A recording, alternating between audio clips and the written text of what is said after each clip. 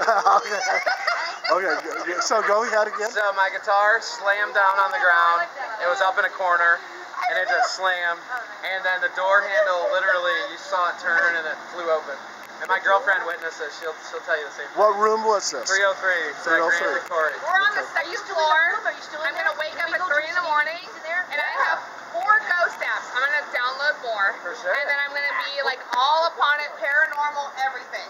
Yes, getting it. I'm all about it. I'm so excited. I can't even wait. Oh, I don't even care. I like whatever's gonna channel, whatever. I'm not about the Ouija board. Like I can't do it because like I don't want to be possessed or anything like that. But I'm telling you, like I'm all about all of it. I mean, whatever. We're doing some things, but uh, whatever. I'm from Discovery Bay. So I live, you know, Contra Costa County, whatever. But yeah.